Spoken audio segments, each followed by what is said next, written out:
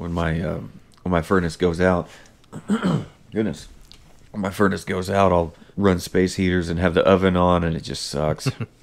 I grew up in a house that uh, I don't remember how old I was, but at, at one point the house didn't have it originally. Uh, but my parents installed a Franklin cast iron stove in in the Okay. in the family room, I would love that. and uh, you know my dad built the hearth. There was a window there that they uh, fill, filled in, and they did uh, half brick uh, up the wall, Uh-huh. and then the chimney went uh, up to the the ceiling. Oh, okay. Um, it was a two story old farmhouse, is what it used to be when it was built.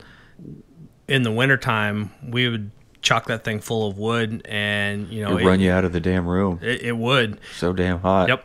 But then, you know, it would keep the whole house nice and warm. And then, but about 4 5 a.m., where it's just nothing but coals at that Yeah. point, the temperature starts coming back down. So, anyway, you fast forward, kids have moved out. My sister and I had moved out at this point. So, it's just my dad in the house. And he, just because it was only him and he didn't really care and it didn't bother him, he would constantly just let the house be at 55 60 degrees and Some people are like that, and I am not like that. no I don't like it cold.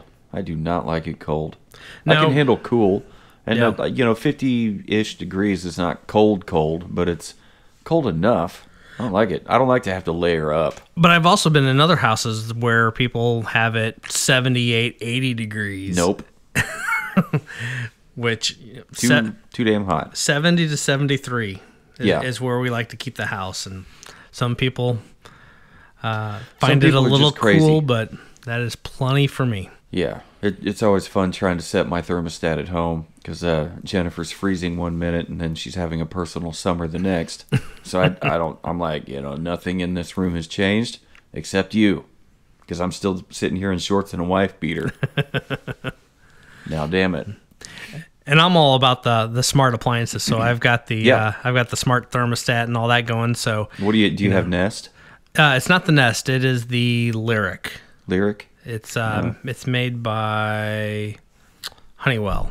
Hmm. But but it's got the thing set up to where it detects when we get within a certain radius of the house and it kicks it on to the the home setting and Hmm.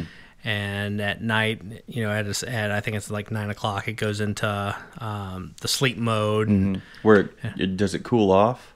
Yeah. Like it doesn't keep it at 70. It'll keep it like 68 or whatever. yep Okay. Yep. I like being warm when I sleep. no But that's what, that's what the blankets are for I guess Yeah, I guess. You have blankets and a warm body to snuggle up next to.